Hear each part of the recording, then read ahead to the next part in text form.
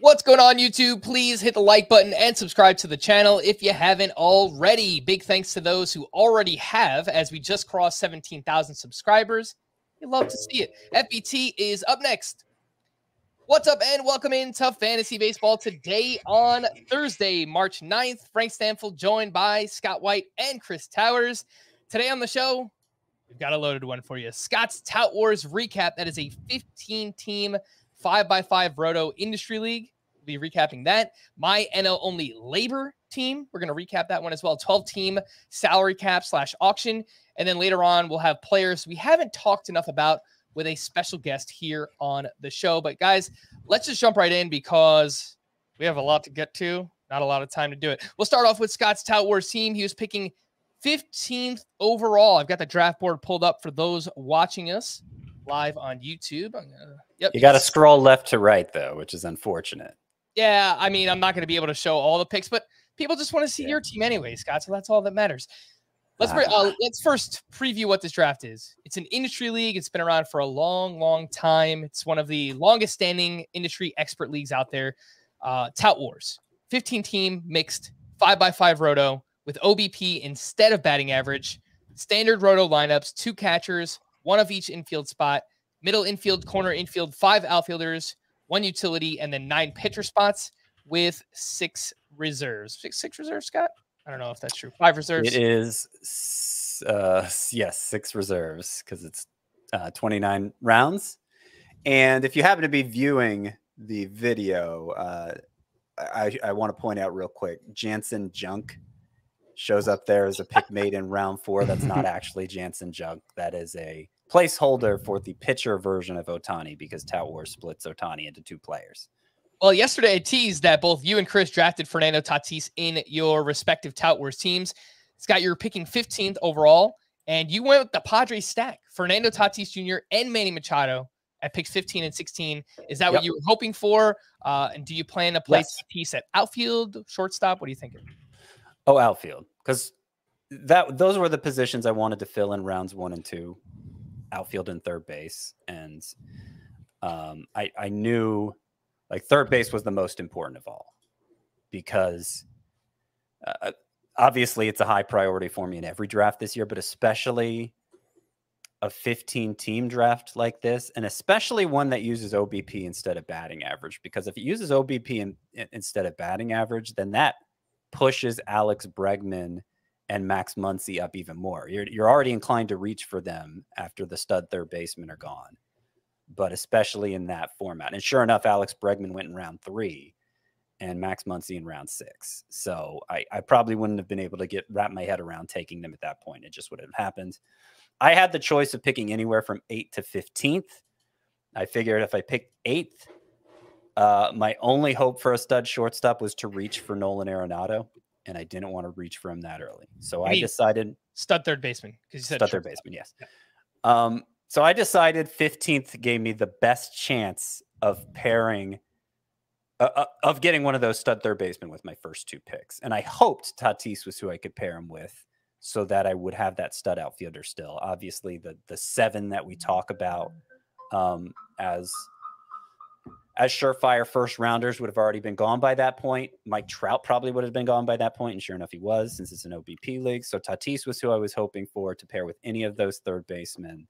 I did go with Machado over Devers this time, in part just to diversify the. The margin between them is so thin, but in part because it is an OBP league. Machado walks a little more. Devers' biggest advantage is batting average, kind of neutralizes that advantage.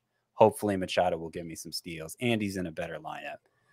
So I went Machado and Tatis there, and uh, and that was kind of it for for game planning for this draft because as I've talked about, when you pick at the end, and especially when it's a league as big as this one, uh, you can't anticipate too much what's going to make it back to you. you. I had to wait 28 picks before every pair of picks that I made, uh, and and and you know, anytime, any like even once we were already made it through that those first 14 picks and we're on the way back i'm looking at players like okay th- maybe this guy will get to me maybe this guy will get to me. And i think one time the whole draft did the guy i hoped would get back to me actually make it to me. So i was kind of just taking who whoever came to me um, and really uh, not not sticking to my like obviously not sticking to the tiers approach that I normally use when drafting because again you can't anticipate what's going to be there and that's what the tier approach is. So it was really just about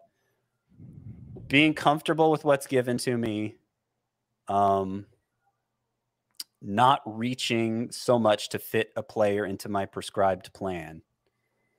And I think I did a good job of that. I think most of my picks ended up being relative values.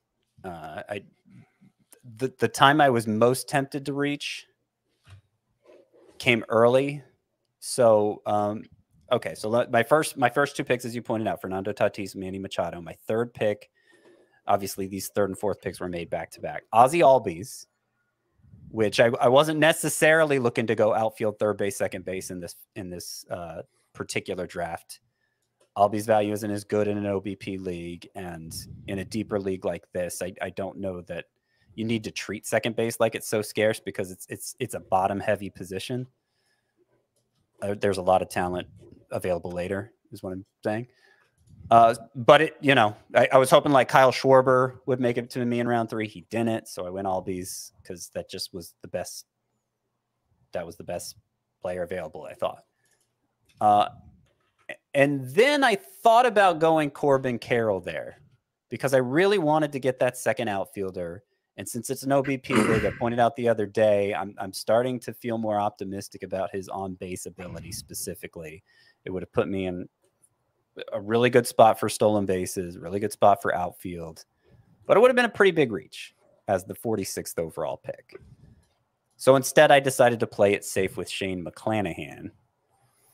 Uh, and you know, it's it's hard to say how much that would have changed my draft if I went Carroll there instead of McClanahan.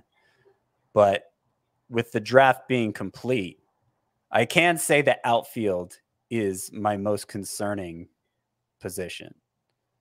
Uh, and and maybe we could get into that more in a little bit, but um, you know, obviously, I'm counting on Fernando Tatis there. He's not going to be there for the first three weeks, and as things currently stand, I'm going to have to turn to the waiver wire for a replacement.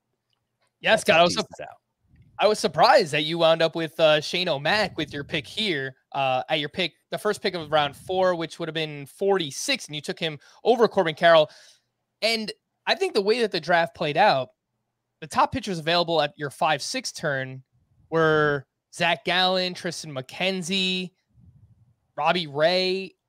I think you did good. I know typically you like to wait on starting pitcher, but man, to get Shane O'Mac there at the three four turn, just the way that all the pitchers started to go after that, I, I think you, you, did a pretty good job with that, uh, winding up with him there. Right. And it's worth saying 46 is probably around when Scott's taking his first pitcher. It's just because right. it's a 15 team league, that ends up being the first pick of the fourth round, where in the 12 team league, the first pick of the fourth round would be 37 overall. I mean, lately I've been taking my first pitcher more like beyond the top 60. Uh, I've, I've been pushing it back more and more, and I hoped to do it in this draft too, because I, you know, the deeper the league is, the scarcer hitting is going to be, and I, I think that is the between hitting and pitching, it's more important to fill hitting in the early rounds, and that becomes even more dire in, in the deeper the league is. So I, I'd hope to go at least four pitchers to start the draft, but again. I just had to take what was given to me, and uh, with McClanahan still on the board, Carroll it just seemed like too big of a reach. Now, when it came back to me, Luis Robert was there. So I did get that second outfielder, one with health concerns, which also isn't great for my lack of outfield depth. But, you know, even in an OBP league, you can't complain about Luis Roberts' seven, 75th overall. So I had yeah. a lot of picks like that where it's just like, uh, all right, if, if everyone else is going to pass on him, I guess I'll take him and and so up and down the draft i i see a lot of value there just from a pure adp perspective you know but did it all come together to create the most balanced well-rounded team? Mostly yes like in terms of category distribution i i think it did and what helped with that was that three of my first five picks were contributors and steals tatis Albies and Robert, so I didn't have to really stretch at any point to to uh, address that that category scarcity. I had a lot in the bag early on. Uh, what also helped with it is I had the presence of mind following that Robert pick in round five. I paired him with Raisel Iglesias, first pick of round six, which is probably the earliest I've drafted a closer this year. But I knew, you know, one of, one of my biggest problems in this league the past couple years is just being too cavalier about saves and then having to cycle through a bunch of junky pitchers to help in that category. So as we've talked about in the relief pitcher preview and everything else, I want to get one of those nine that I feel really confident in, in them getting 30 plus saves, and Iglesias is among that group. And sure enough, before it got back to me, as it was as we're going through those 28 picks in round six and seven, um, a man, uh, let's see who all went. It was, uh, uh, hang on here, I got it right in my Right up here. Okay, so Ryan Pressly, Ryan Helsley, Felix Bautista, Clay Holmes, and Camilo Doval all went before I had another chance to pick. So I would have been in a bad situation uh, at closer if I hadn't taken Raisel Iglesias there with the first pick of round six. So so it helped that I addressed those two most stressful categories early enough that that that kind of put me in a position where I could continue to take what was given to me rather than uh, having to reach to meet a specific need. So in, in, terms of category distribution, I think it worked out well. Uh, you know, if, if, I went a little lighter on power than I like early, that helped. It, it helped that uh, I was able to get Salvador Perez with uh, at the end of round seven. I think it was the hundred fifth overall pick. Yep. Um, so you know he's going to give you a lot more home runs and especially RBI than the average catcher will. Um, my second and third starting pitchers were Nestor Cortes and Chris Sale, which is in a league this deep, not uncommon for me. Shane McClanahan's a better ace than I normally get. Uh, but I like that top of the rotation fine. Uh, Tony Gonsolin, who it does sound like he's going to start on begin the year on the IL now with that ankle injury, but it, it you know, there's no fracture or anything. It doesn't sound like it's going to be a long term issue. And he slid all the way to 195th so I got him as my number four starter. So my I, I feel like my pitching staff for a 15 team league actually looks better than it normally does.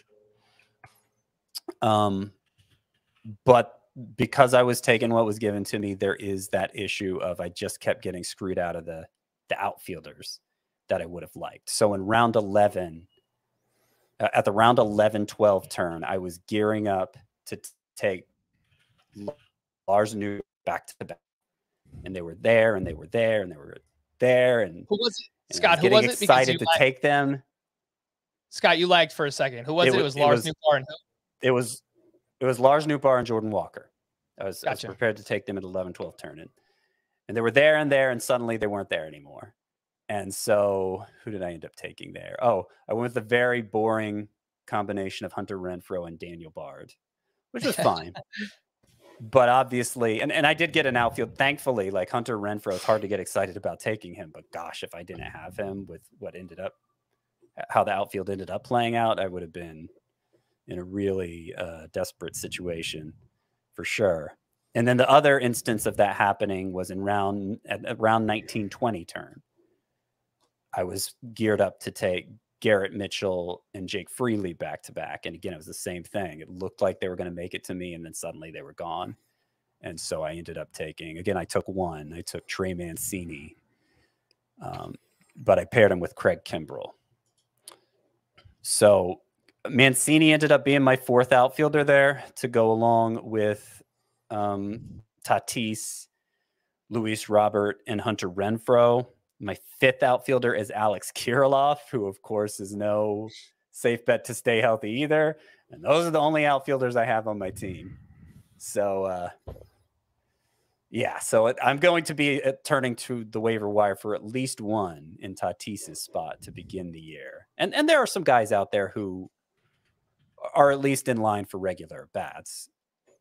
They might not be the greatest at bats, but you know, they they won't be a zero for me but that's that's probably my biggest regret of the draft is that I wasn't able to build any any outfield depth to speak of. Uh, and I'm just glad I got the ones I did when I did. Yeah, one thing I really liked, Scott, that you you broke down there was how you hit all the categories pretty much consistently throughout your early round picks. So again, and I think that's a really good point for people who either play, I mean, even 12 team roto, but any type of roto or even deeper roto leagues, when you build a balanced roster early, you don't have to reach for specific uh, categories throughout like the middle rounds of the draft. It, it, it gives you a little bit more freedom, more flexibility to kind of play with some picks and maybe do things differently or, or take certain players that you wanted because you didn't have to worry, yeah. oh, I need to get power or I need to get speed. Because again, I think you did a really good job with your, uh, your Yeah.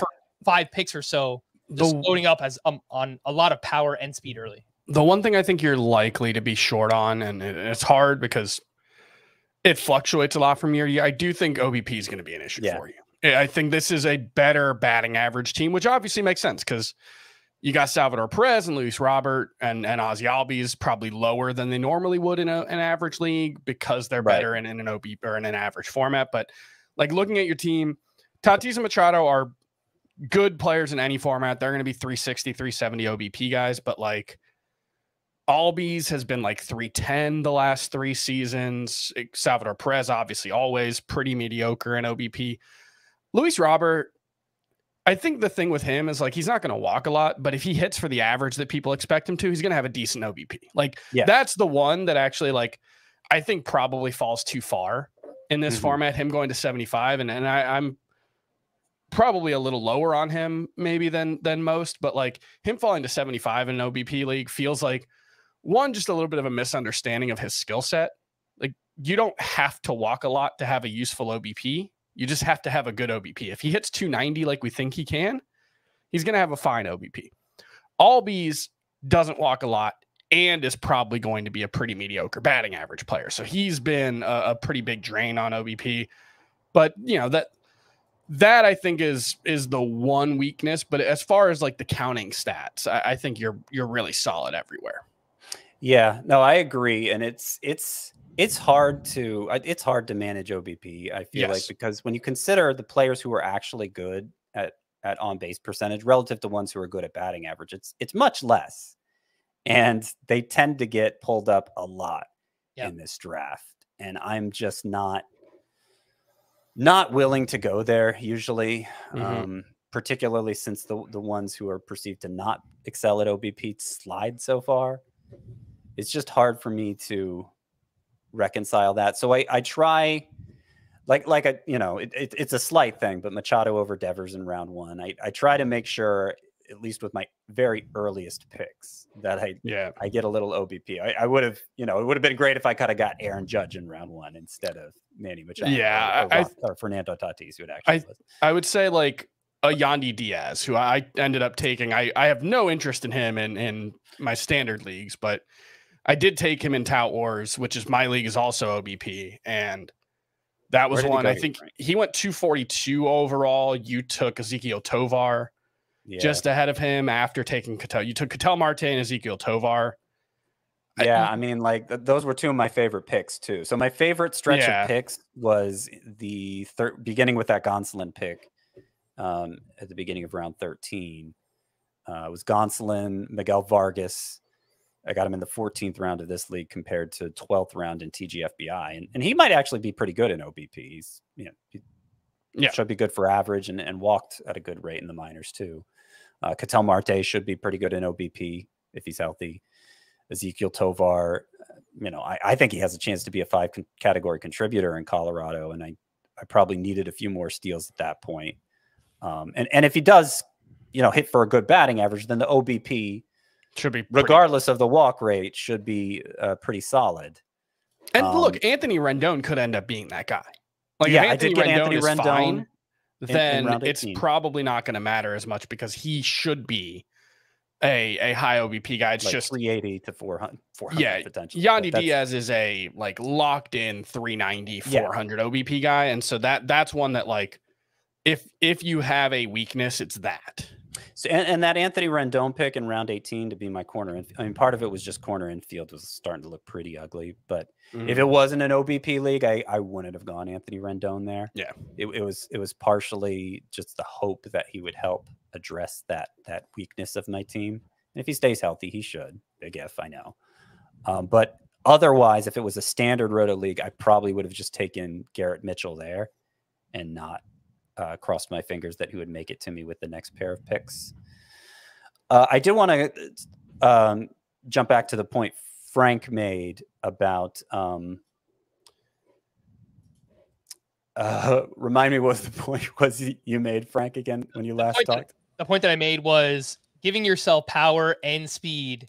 Uh, yes, power and speed yes. early allows you flexibility throughout the middle rounds of the draft. Yes, and to illustrate this, I want to look back real quick at the way the same draft started last year.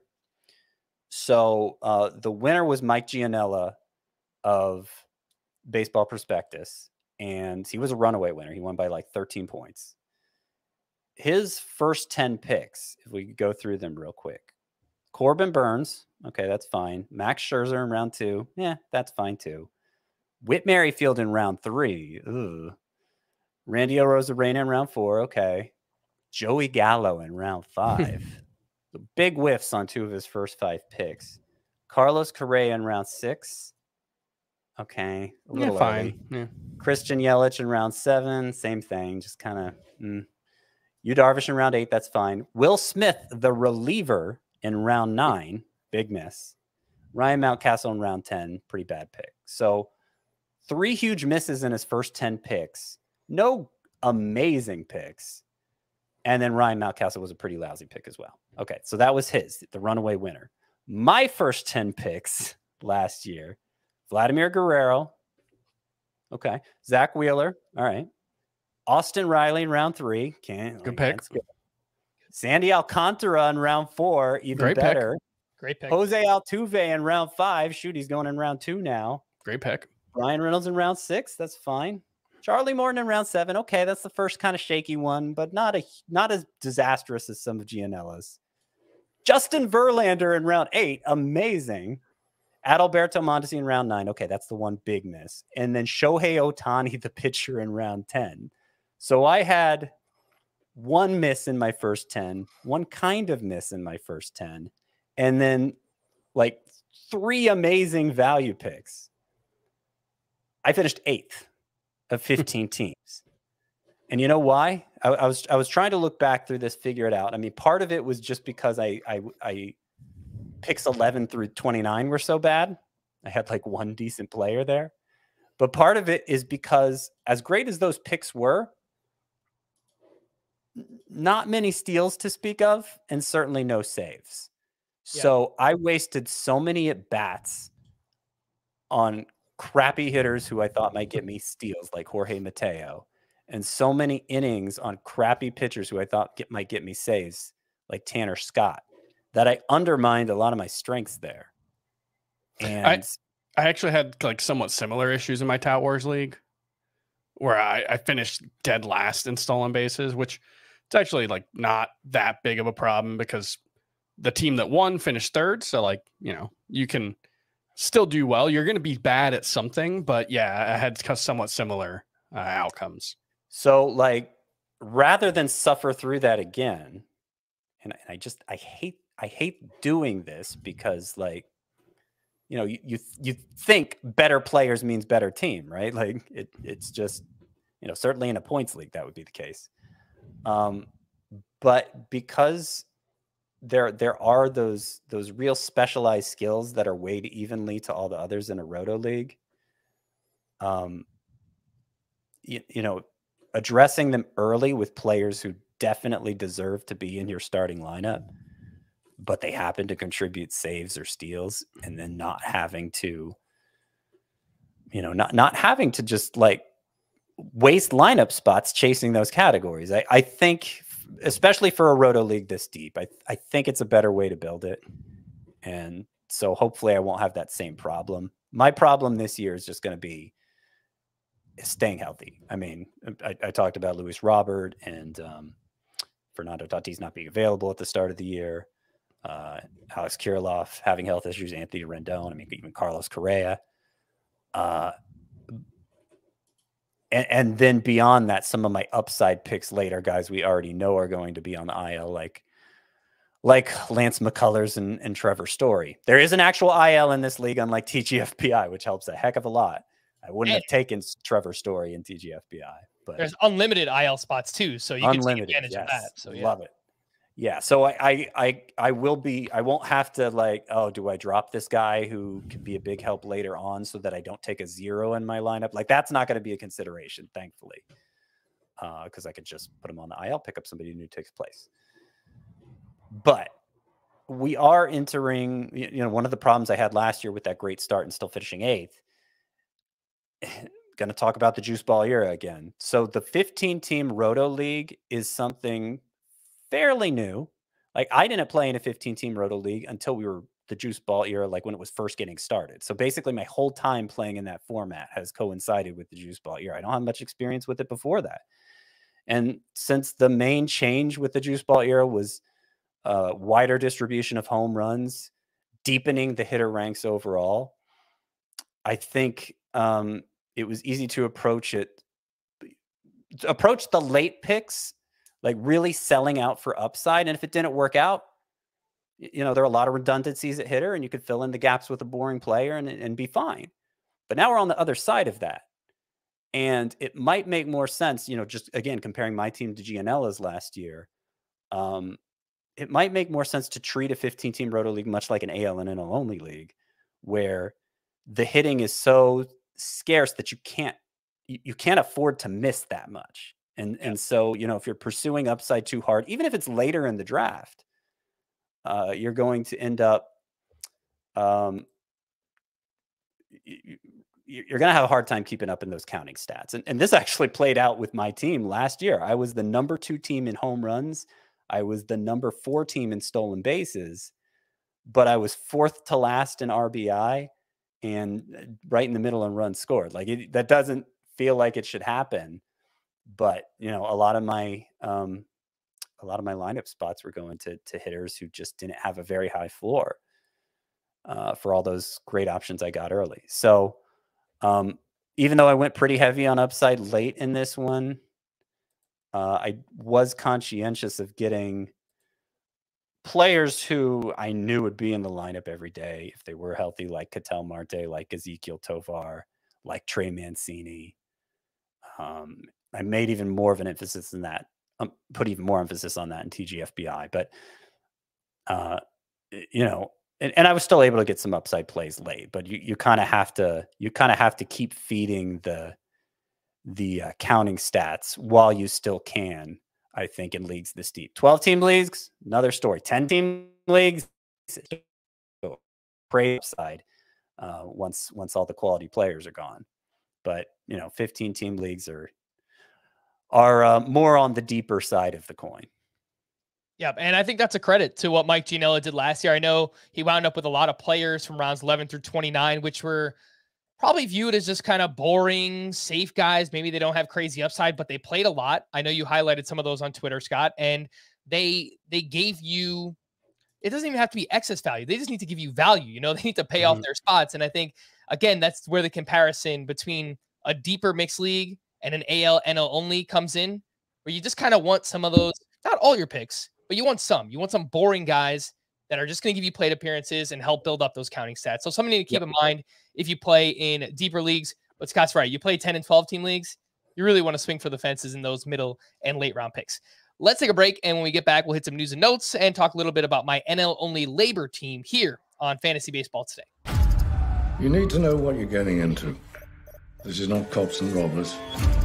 The enemy is everywhere, but he can't be seen. Why me? None of this makes sense. It's a mind game, John. Ah! What have you gotten me into? I can't tell the difference between what's real and what's not.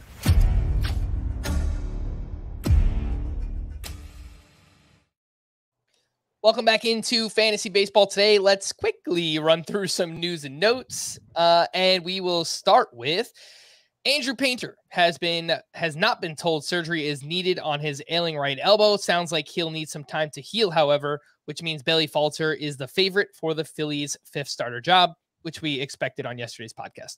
Starling Marte is set to make his spring debut on Friday. Marte required surgery in November to address separated tendons on both sides of his groin, but he's made steady progress and should be ready for opening day. Jacob DeGrom could make his Cactus League debut as soon as Monday. He's been working his way back from left side tightness.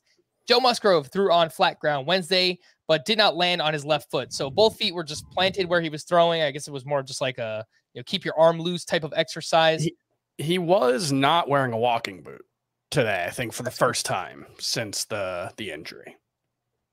Uh, yeah, hey, positive steps. We'll, we'll take that with uh, with Joe Musgrove.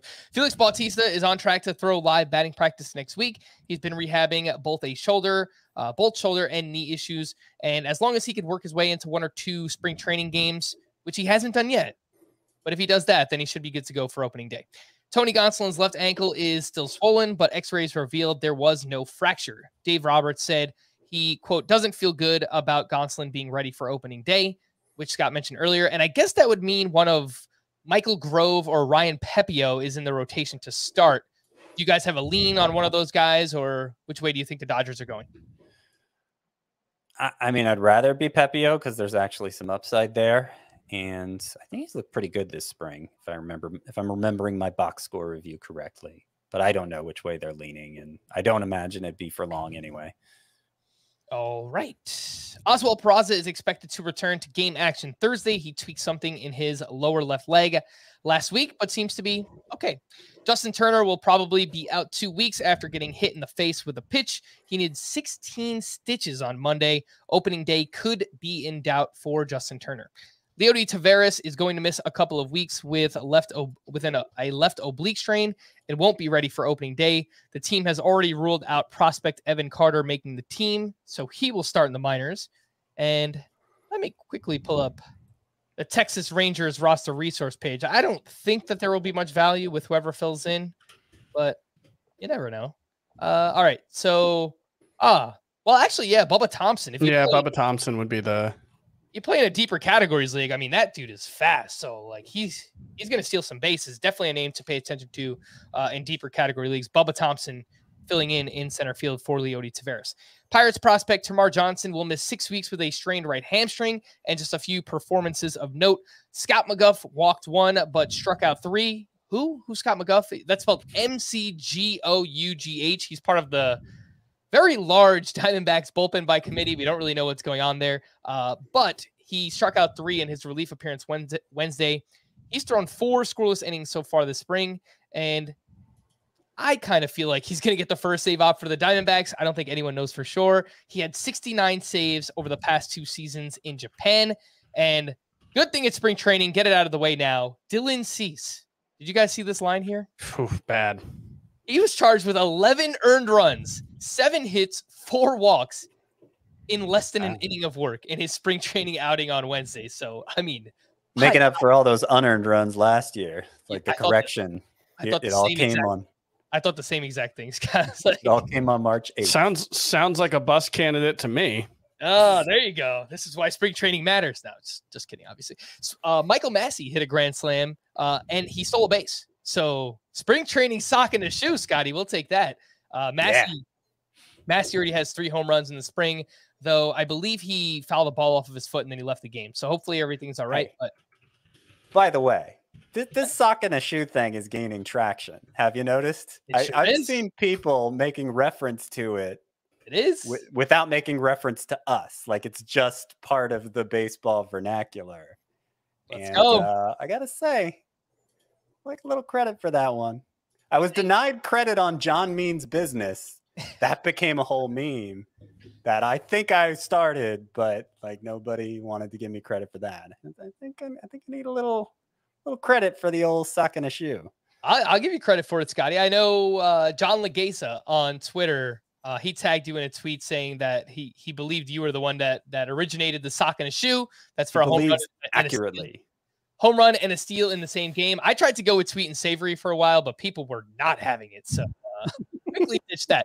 Let, before we get into my NL LABR team, we'll, we'll just quickly talk about that. Um, CBS Sports Fantasy Baseball Commissioner lets you run your league your way with endless ways to customize your scoring, rosters, schedule, and more. With CBS Sports Commissioner, you can cut out the loopholes and arguments and play exactly how your league wants to. My longest running keeper league, Scott White Dynasty League, they're both played on CBS and they run seamlessly. You can set up custom rules, roto, head to head points, or categories, salary cap or snake draft, keepers, contracts, draft pick trading, and multiple matchups per period. The league history is unlike any other fantasy site with a record book, all time standings, year by year results, and more. So step up to the big leagues this season. Visit cbssports.com slash FBT to get a special offer when you start a new commissioner league today. Again, that's cbssports.com slash FBT. Let's take a look quickly at my NL only LABR salary cap draft that I was a part of, salary cap, also known as auction draft. First and foremost, doing an auction in person, fantasy baseball auction, is the best. It there is nothing better than that in fantasy. It is so fun. They're bidding wars, poker faces, there's egos, one like there's cadence in terms of bidding. There's so many different strategies.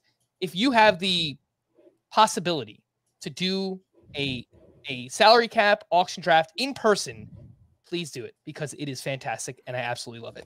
12 team league, $260 budget. This was also a standard standard roto lineups with batting average instead of OBP. Again, if you're watching us live on YouTube, I've got the uh, draft board up So on so so here. the standard batting average, not Yeah. OBP. Okay, just making yeah. sure you. Yeah, I think that's what I said. Batting average you instead did. You did. You did. Um, and there's a unique roster rule here with LABR that just quickly need to mention. You can't take a player out of your starting lineup unless they either wind up on the IL, they get demoted to the minors, or you drop them.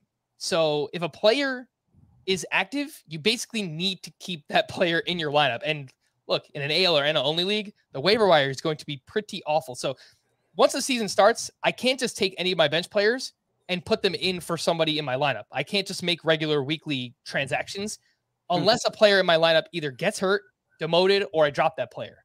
So And that that makes drafting Fernando Tatis kind of awkward. Yes. I mean, it, that's why you'll see on this draft board here for those watching, there are a lot of either hurt players currently or minor leaguers that were drafted. And that's strategically because it allows you more flexibility within your your transactions. You can put players in and out of your lineup then by, you know, once the season starts, player goes in the IL, all right, you take them out, put them on your IL spot, and then you could put someone in your lineup. So there's a strategy factor to that. And I kind of wish I wound up with someone who was on the IL to start the season, but Uh, okay, so so yeah, so when Fernando Tatis comes back, you need to hope somebody else is hurt or demoted, right? else Or you just have to have him in your lineup the first two weeks. No, yeah, that's exactly it. Chris is right because I mean, I guess I should have asked what happens with suspension, but I would imagine Yeah. that, that So they're on the roster. right? Yeah, yeah. So you it, so it, it, it applies the other way too. It's not just um, this is your only opportunity to remove someone, but this is your only opportunity to insert a new someone too. yeah, yeah. and and Mhm. yeah, there's it, it factors into trading as well because if you trade for a reserve player, then it it it changes whether or not you can put that person in your lineup. I'm making this more confusing than it needs to be, but quickly, my general strategy was to not spend more than thirty dollars on any player. Uh, wind up Yep. with a 65%, 35% split, uh, hitter pitcher split in terms of my uh, my budget, and draft relatively boring, high floor players who are going to play. Scott, you know this because you do the AL and NL only drafts on CBS every year. Plate appearances and innings are key. Playing time matters immensely in a format like that. So before I reveal my team, Scott, what did you think of my general strategy going in? Yeah, no, that's that's how I try to approach AL and NL only leagues too, and that's why I kind of made that um, that comparison to a 15 team roto league where you, I might have to treat them more similarly now with hitter being scarcer. Uh, but I, I didn't always do it that way, and I came to to realize, you know, once I came to realize a few years ago just how important it was to have playing time in your lineup, even if it's pretty blah playing time. Um, once I made that adjustment, which meant, you know, in the salary cap draft, not not spending as much on the high dollar players because you don't want low dollar players. Low dollar players in an ALNL only league are just probably going to be ones who aren't playing. Right. Uh, so I, I made that same adjustment you did generally speaking, I don't spend more than $30 on any player. I might go 31, 32 on somebody, but you know, it's it's, it's a loose rule. Certainly not, you know, going 45, 50 on anybody. And once I made that adjustment, I started doing a lot better in these leagues. Like I, I, I think AL only leagues are the ones I'm consistently good at these days, which is hard to do because obviously there's more. Uh, anytime somebody gets injured in a league this deep, it, it's a disaster. So it, it, you'd think it'd be more vulnerable to luck and it'd be harder to be consistent at it. But that, you know, that what you're saying, uh, really distributing the dollars more evenly makes a lot of sense. And I mostly accomplished my goals. I did have one mishap within the draft, which caused me to miss out on a few hitter targets, specifically at third base and my second catcher spot. So I wound up spending 62% on hitting, 38% on pitching. Came up a little bit short there. Brace yourselves, those listening or watching. If you do not play in AL or NL only, this is going to sound awful. Here's my team Sean Murphy, Tucker Barnhart at catcher. That's right, Tucker Barnhart. Rhys Hoskins, Jean Segura, Francisco Lindor, Evan Longoria in the infield, CJ Abrams at middle, Ji-Man Choi at corner. And then in the outfield, I've got Christian Yelich, Lars Nootbaar, Charlie Blackmon, Andrew McCutchen, Mark Canha, and then Nelson Cruz at utility. Chris, you're up, man. Rip me apart. What do you think? Mostly boring, guys, but I got I got my two upside plays in Lars Nootbaar and CJ Abrams. Yeah, no, I, I think it's fine because you know going through it, it's hard to have everyday players in every spot in an NL only or AL only league, frankly. And I think you pretty much do outside of Evan Longoria and Ji-Man Choi probably, and then Nelson Cruz. We don't quite know, but I don't think he's going to play every day. So yeah, I, think in that regard, well, and Mark Canha.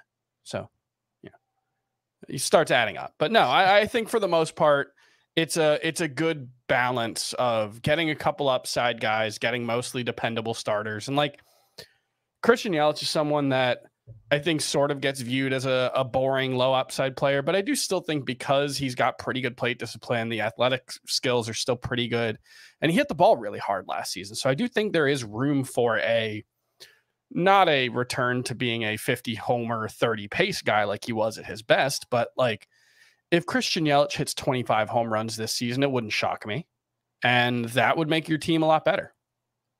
Yeah. I mean, basically, I had players at each position. I had a budget for each position. So I knew, for example, my outfield one, I was going to spend 18 to $20. And it mm-hmm. was mm-hmm. uh, Christian Yelich, Ian Happ, and Kris Bryant. And I think Bryant actually went for 17. So he actually turned out being a really good buy.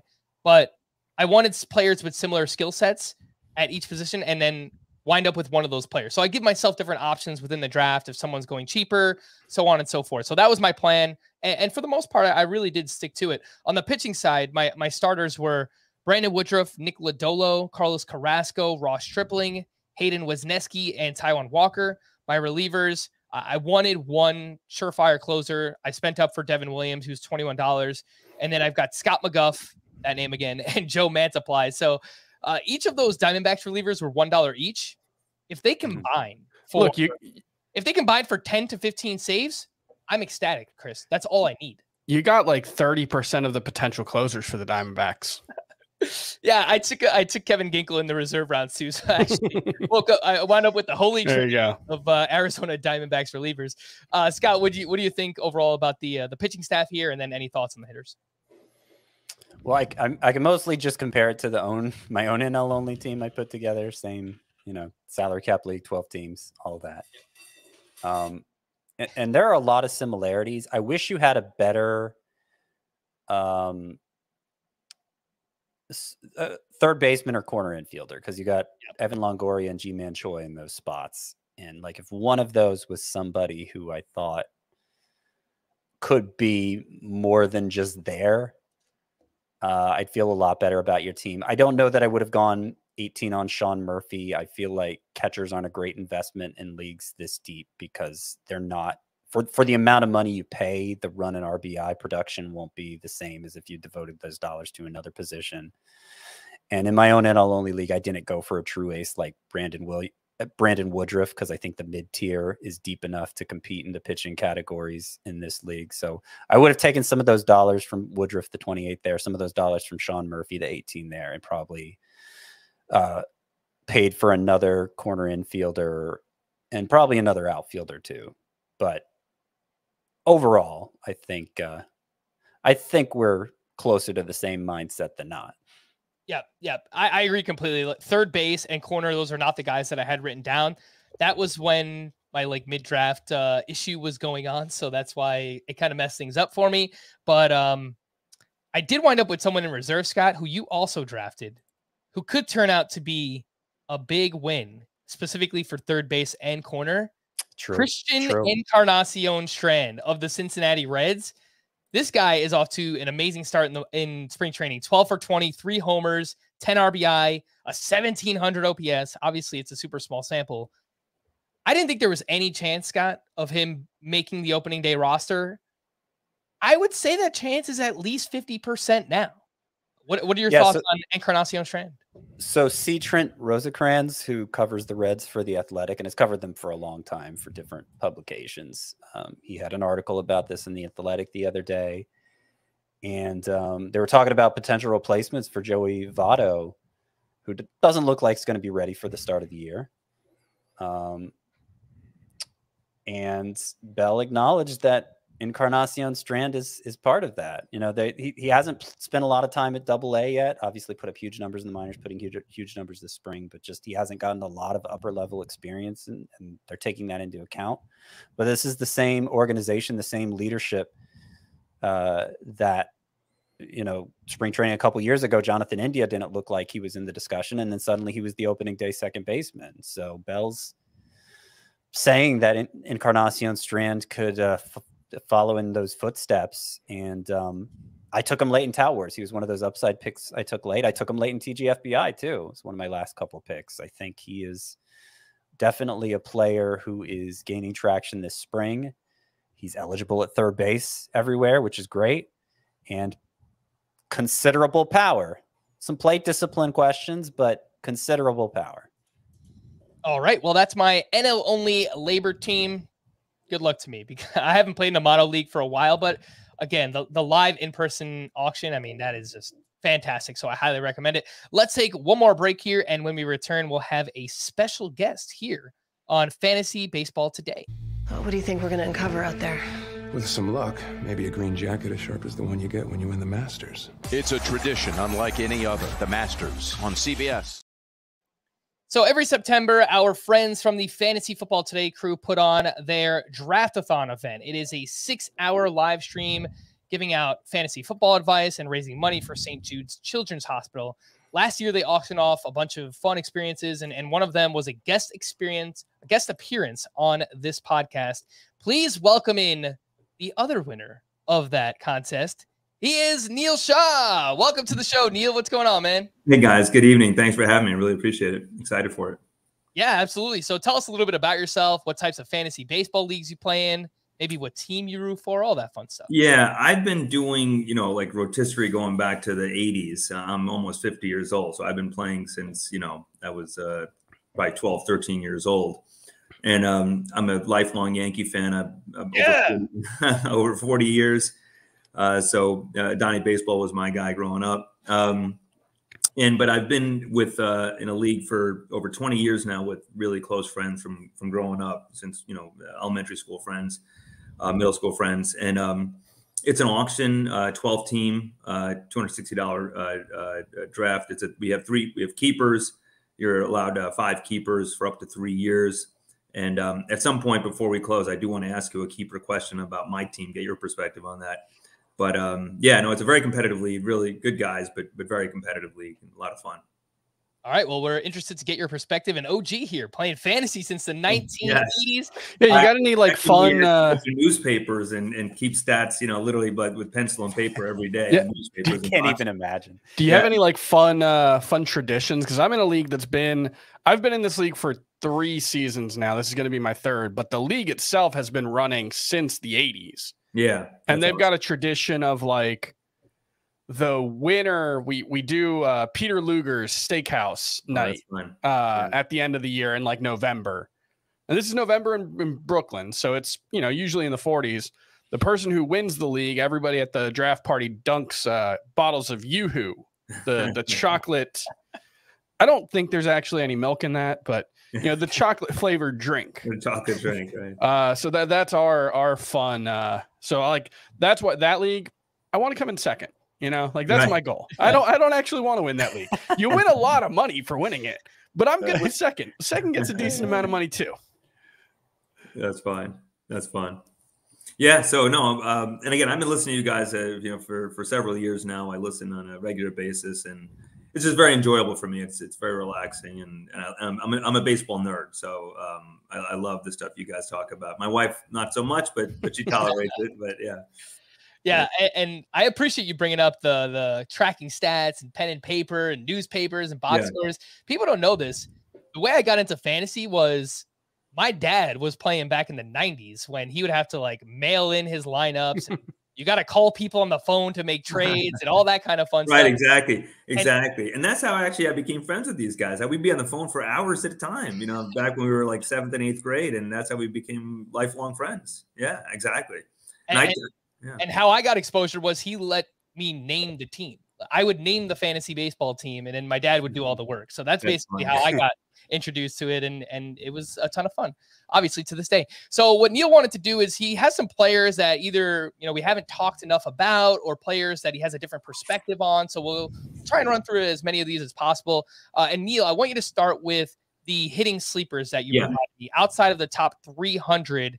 Who are those guys that you're looking at? Yeah, no, thanks. And and I tried to come up with guys who have some track record where there's a reason to believe and and there's a change that's happened that's a reason to believe. So the first guy is Adam Duvall, who's, you know, I think number 400 rank in, in CBS Sports. And obviously he's a guy who in 2021 had 38 homers, led the National League. In 2020, 2019, he was an 800, 850 to almost 900 OPS guy. And last year was obviously a very much a down season for him. What excites me though is he moved to uh, Fenway. Um, obviously, that's a stadium built, I think, for his swing as a as a fly ball hitter, as a dead pull hitter. Obviously, he's a righty. He's a Gold Glove type fielder, so he'll be playing center field, I think, on a regular basis. And you know, in a small sample size at Fenway, only 18 at bats career, he has four homers um, and like a, a 1400 OPS. So I think he's a guy. Again, he's out. He's he's in, in the 400 ranking, so you can get him for free. And I think he's a 30 plus home run candidate on playing full time uh, again for the Red Sox, and what I think is a very good lineup actually. So that's the first one. Uh, the second one is um, Jared Walsh, who's again uh, obviously first base for the Angels, ranked uh, 326. So again, so outside of the 300, and here, so his first full month as a major leaguer was in September 2020, September 2020, and and then this first three months of 2021 he was basically an all-star. So in those first four full months i i added up he had 29 homers and 84 rbis okay in his first four full months as a pro however going back to 2019 he has this thoracic outlet syndrome issue and that reared its head in the second half of 2021 so his second half numbers of 21 were down and 2022 was a disaster uh, for him. Ultimately, he had to have surgery on that, and he basically missed the rest of the season last year. He's come back, and, and this is an issue that affects basically, you know, um, your collarbone, you know, down to your ribs, uh, causes uh, shoulder and neck pain and numbness. So it's just really hard, obviously, to play. And um, but now he's had surgery on it. He says he's 100% healthy. Obviously, he's a starting first baseman for the Angels, and again, I think a really good lineup. So you know, and he's a guy who has a track record. Um, so if he's healthy now, I think he's a potential big uh, contributor at first base, who again is not even being drafted. Um, and then the third one uh, is Brandon Belt, who again uh, ranked outside of the top 300. Obviously, in 2020, 2021, you know, over the course of those two seasons, 475 at bats, he had 38 homers and 1,000 OPS. So it's not that far removed. And he's another one who in 2022, he's had chronic knee issues. It pretty much saddled him all year last year, his power completely. He's talked about that to the point that he ultimately had season ending um, in, uh, surgery uh, to repair his knee. He says he's 100%. He obviously signed with the Blue Jays. And, and it's going to segue into my next idea that I want to talk about. But the Blue Jays have brought their obviously uh, outfield in, especially uh, for in the right center field power sort of gap uh, or alley. Okay. Obviously, he's a left-handed hitter, so it's perfectly suited for him. They brought their fences in from 375 to 359. And I looked this up. I think that is actually the shortest porch in right center field in all Major League Baseball. So I think that is totally suited for a left-handed power hitter. And now that he's healthy, I think he's a guy who um, can again be a 30 home run hitter as basically you know a strong side or potentially full-time DH. Um, or sub, subbing in a little bit of first base for the Blue Jays. So I'm, he's another guy who I'm really excited about. It's got three names there Adam Duvall, now with the Red Sox, Jared Walsh coming back from thoracic outlet syndrome, and Brandon Belt now with the Blue Jays. Do you have any interest in any of these three guys? Obviously, in deeper leagues. I, I have talked about Duvall some as a deep sleeper for for um, for the reasons Neil mentioned. I, I mean, he he the home runs he hits are high home runs to the pull side. And um, yeah, I mean, you, you, can't ask for a better venue for Duvall than than Fenway. Now, I, I mean, home runs are basically all he can provide if he's going to provide anything. But home runs are getting pretty hard to find at that stage of the draft. So I think I think that's a good call there. Um, there have been times when I've gotten excited about Brandon Belt he hasn't debuted yet this spring coming off knee surgery. It doesn't sound like it's really an issue, but you know, it's become kind of this out of sight, out of mind thing. Did he um, I closed the window. Did he do you, do you have the Tout Wars draft up, Frank? Did Brandon Belt get taken there? Because that's somebody who, if you know, if he is playing even semi regularly, in addition to the power, that that's an OBP mm-hmm. source. That's yeah. something he's always excelled at. So that might be can't use him in the outfield, unfortunately, but that might be somebody I'm looking to pick up if he didn't get taken. So yeah, he, went, think, he went in round 21 of a 15 team mm, league. Go ahead, Chris. Okay. I think Belt is like a really, really good AL only player this year, especially because like it's hard to see him getting enough plate appearances to, you know, get to 550 even just because he's going to need time off. There's always, you know, been injury issues with him. He's had a lot of concussion issues in his career, as well as you know knee, and I think he's had like plantar fasciitis as well. Um, but I've been wanting him to get away from San Francisco for a while, just because that's such a hard park to hit for power in. It it boosts your doubles and triples, so the the overall effect isn't as great as you might think. But it's really hard to hit for power as a left-handed hitter there. I, I think even as a part-time player, it's not out of the question that he hits 25 homers in Toronto. So I, I think Brandon Belt, deeper, you know, 15 team league or someone that as the season's going on can be intermittently worth starting. But, you know, I think when you're drafting a full team for a 12 team league, mixed league, it's a little harder for me to get excited about him just because I do think there are going to be some playing time issues. I think Adam Duvall, though, that there might not be that much difference between him and Hunter Renfroe. no, exactly. I think he's he's a cheap Hunter Renfroe. Exactly. Yeah, that yeah. that's the the comp that I would make. Where like yeah. you're not. There, it's there's not probably sure, thirty to forty points in batting average difference. Let's oh yeah, let's not go yeah. crazy. Yeah. Maybe, maybe. I mean, well, Fenway's a great batting average park for for a lot of reasons. The the big hitter's eye. It's a big outfield, not including the. Well, the it's a three three ten to left field. He can get plenty of doubles or singles off that off that monster. Yeah. So I, I do think like, yeah, he's probably going to be worse than Hunter Renfroe, but at the end of the season, if they had similar numbers, it wouldn't surprise me. Yeah. All right, Neil, let's get into your bold predictions. You sent me two yeah. names here, one of them including another left handed Blue Jays hitter. Exactly, exactly. So I'm high on this point. I think a fantasy winner is going to be Daulton Varsho. Obviously, he's well known and, you know, et cetera, but I'm making a case that I think he could be a league winner essentially. And the reason for that is the point I mentioned about uh, Toronto and, and, and that power alley and, right center field. But also, if you look at his numbers, he's going to be playing full time outfield. Uh, if you look at his numbers, he's a significantly better hitter as an outfielder than as a catcher, going back to his time in in, uh, in Arizona. Okay. Not only that, if you look at late last season, basically he had very little power at catcher, didn't run at catcher. In September last season, obviously playing full time outfield, he had nine homers, eight stolen bases, Okay, he's got uh, very high, obviously great speed.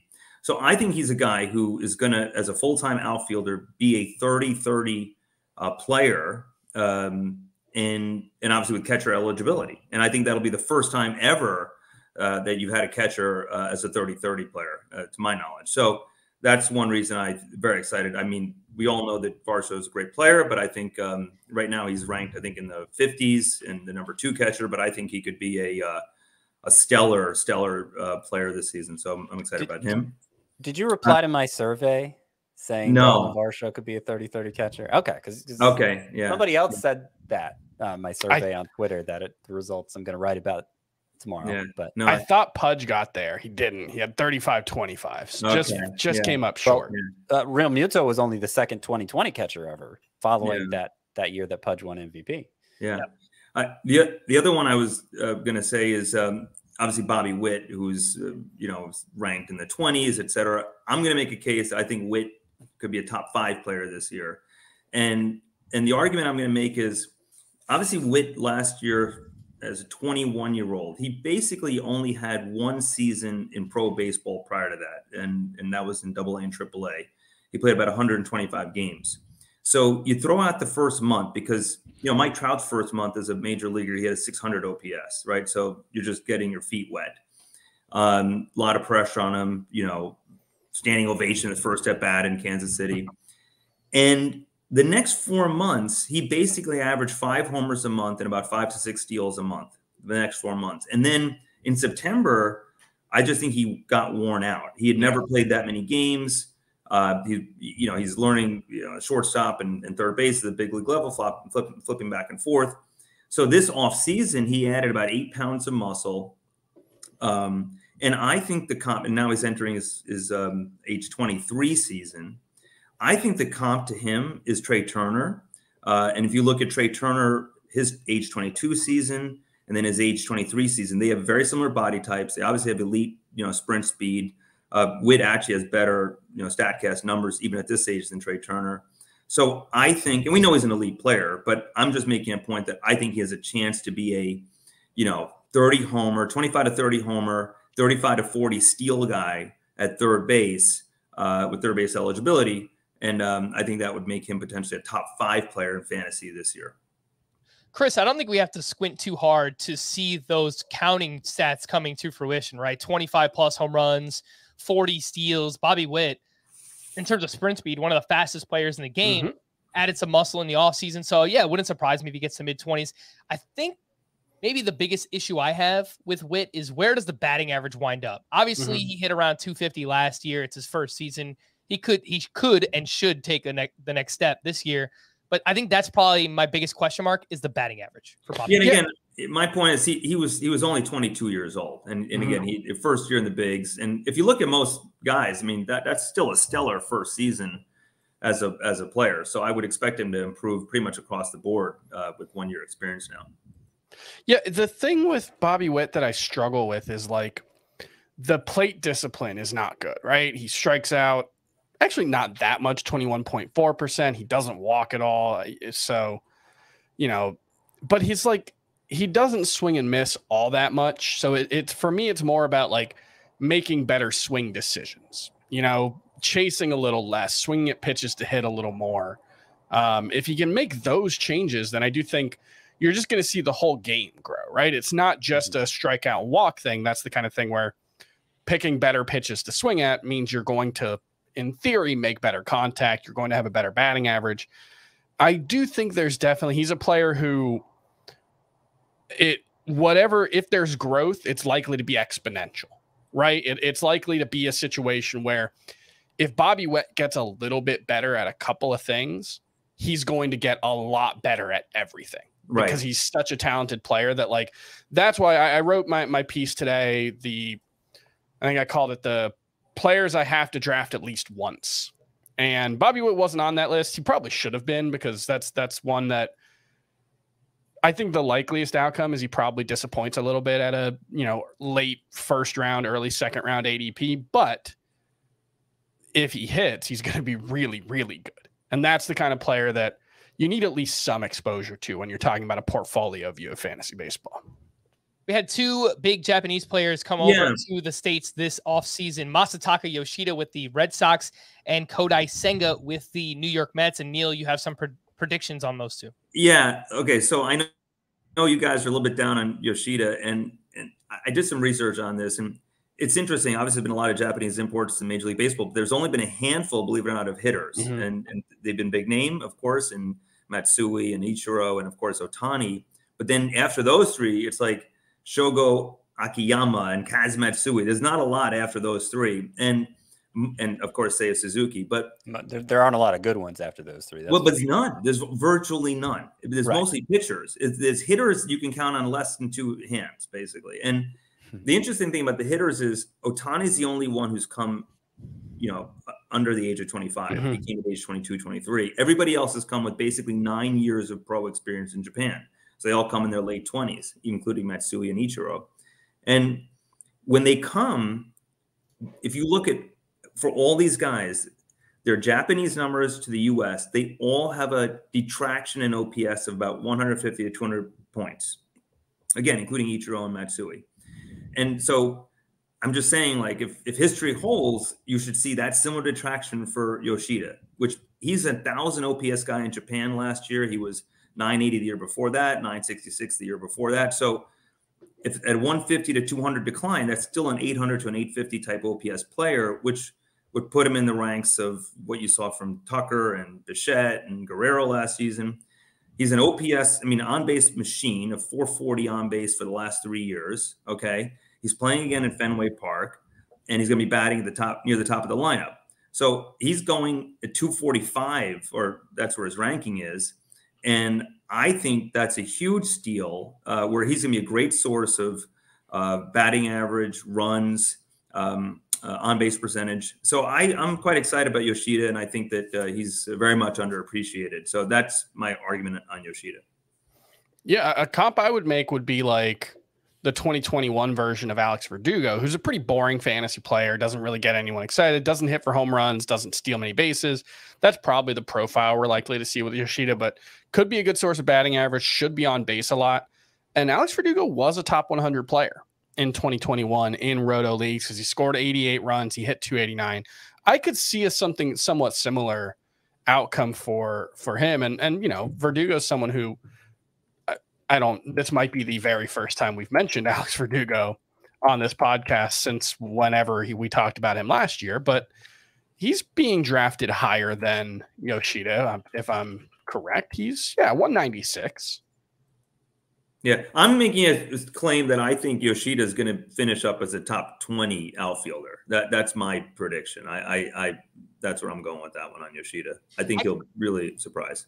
I could see it more in a head-to-head points league where plate discipline matters so much. You lose points mm-hmm. for strikeouts. Obviously, you gain points for walks. I think in OBP formats, my problem with Yoshida is I just don't know if he's going to do enough power and speed-wise from a roto perspective to be mm-hmm. that top 20 outfielder. And if it does happen, it's probably on the strength of batting average, scoring runs, and the fact that the outfield position just isn't very good. So Right. I- I, Right. I, like that to me is the path to it happening. But Scott, I just I have skepticism on the power and the speed for Yoshida. Well, there is no speed. He's he's not going to steal any bases. Uh, he didn't do much of that in Japan either. So, um, the power was, you know, he, he had a couple. Yeah, he had some twenty plus homer seasons in Japan. It's obviously not a neat. Um, there's not like a simple formula you can apply to say how that's going to translate to the majors, but like nobody sustains the power that they had in Japan. Understandably, the venues are smaller, the ball is smaller. Uh, it's just a different environment. But I'm not counting on more than like double digit home runs from Yoshida. So it, it's really like, is he going to be helpful enough in the counting stats? I was a little more excited when it looked like he was going to bat lead off. Now they're saying probably cleanup is more likely. Um, so that's going to cost him some of those counting stats. Certainly, he's not going to be a run scoring specialist the way he would have been at the top of the lineup. But could he be like a Jeff McNeil sort of batting average specialist? Or you know, I've I've made the I've made the Alex Verdugo comp before as well. Um, somewhere in that range is what I'm expecting for Yoshida. Obviously, there are more doubts because we haven't seen him actually do it. But that's that's how I've been approaching him. But you're do you think there's more power than I'm giving him credit for, Neil? No, I, am not. I agree with you. I'm not expecting a lot in terms of power. Although I do think the Fenway Park situation is a positive. You know, we haven't seen. Um, I, I, think that that's a positive for him. Uh, the ability to pepper uh, the opposite field there um, and doubles. But I, I, look. I my argument is going to be based on his ability to hit over 300. Um, mm-hmm. I do think that lineup is a strong lineup. You know, we talked about Duvall, but I, I actually think it's a very deep and strong lineup. Turner ultimately getting back. Uh, you know the shortstop, uh, but uh, you know uh, Casas, for example, too. I, you know Devers, of course. I think it's a good lineup. Um, you know, so I do think he'll have an opportunity to still score runs, even if he's batting cleanup, and of course driving in RBIs too. Um, so yeah, I'm not I'm not counting on more than teens homer for him, but I think um, but I think you add it all up, and and again, he's a guy right now that uh, you know is he's probably not even in the top 50 outfielders. I think mm-hmm. he's a real value. So that's that's what I'm excited about. All right, Neil, yeah. let's wrap up with uh, some of these quick hitters that you have here. Yeah. You know, we've got a couple of minutes left. Um, yeah. Quickly run through some of these. Let me, yeah, quickly. Yeah, thanks. Um, so look, I think you know you guys were talking about Wander Franco. I, I totally agree with you. I, I think that he was plagued by injuries last season. I'm expecting a big, big season from Wander Franco. I'm actually expecting a big season from uh, uh, Jonathan India, where if again he was also plagued by injuries uh, last season. I think Steven Kwan um, is going to have a much better season. He's going, I think, 110 right now, and I compare him to Cedric Mullins at 36. I'm expecting Kwan to have a season that's around 25 to 30 stolen bases, um, north of 100 runs. If you look at what he did in the second half last season, had 14 steals. He's obviously a terrific batting average guy, and I think the Cleveland lineup is is quite strong, obviously with the addition of uh, of uh, the first baseman um, and just uh, overall depth there. I think Andres Gimenez. Um, I actually compare him to Jose Altuve. I know um, most of you guys uh, maybe don't feel that way, but but his numbers are comparable if you look at you know things like um, uh, exit velocity, hard hit, sprint speed, etc. He's only 23 years old. I look at him making a jump like similar to what Altuve did from his age 23 to age 24 season. So I'm expecting Gimenez to actually be even better this season, and uh, so I'm expecting uh, strong production there.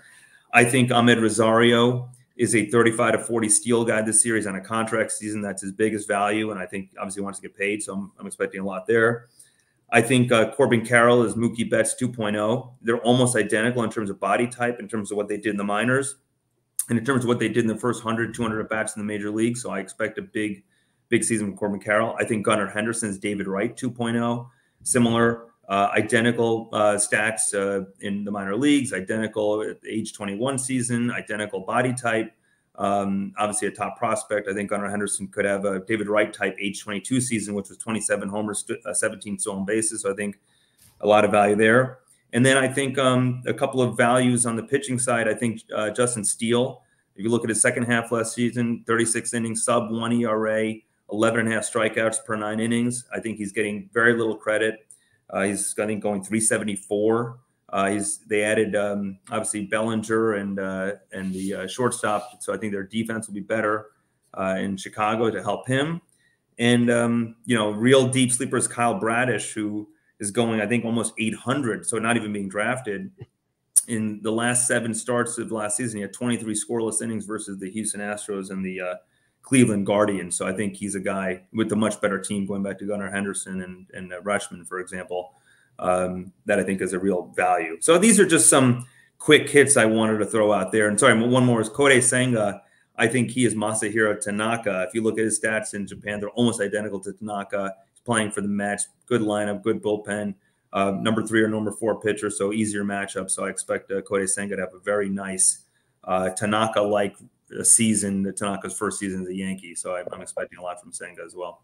I think as long as Kodai Senga could throw strikes, I mean, with that fastball 96 97, the ghost fork, we know that uh, when Tanaka was great uh, for fantasy. It was a lot of that splitter usage. So, you know, right. pretty similar pitchers there. Uh, Amed Rosario, 30 to 40 steals. I love to hear it. I, I don't know if Scott could say the same thing. So no, no. I mean, I've, I've had that. Uh, he's so fast. He always seems like he, uh, un- for his whole career, it seemed like he underperformed as a base stealer. And so, he, you know, you're right. And I looked this up as a Met, he led the league twice and, or maybe once, but maybe twice and caught stealing. He was not a good base stealer with the Mets. Uh, he had to learn that. But with the Guardians, he's, It's been very efficient for 35. So he's gotten yeah. better as the guardian. And again, he's got to get paid. And that well, his calling card is going to be steals. And as we've talked about, it's a lot easier to steal bases. Exactly. It's, it's exactly. The, the, the league wide percentage of success is going to go up, and Rosario should benefit from that. All right. Well, Neil, it was a pleasure having you on Thank the podcast here. Your expertise, your years of experience playing baseball, and of course, we really do appreciate your uh, your contribution and your donation to St. Jude. So, thanks again, man. We really appreciate it. Thanks, guys. Pleasure to meet you all, and thanks for having me. And appreciate the time. We enjoyed it. Yeah, yeah. Great job from Neil. There. We're gonna wrap there for Scott, Chris, and Neil Shaw. I am Frank. Thank you all for listening and watching Fantasy Baseball today. We'll be back again tomorrow. Bye bye.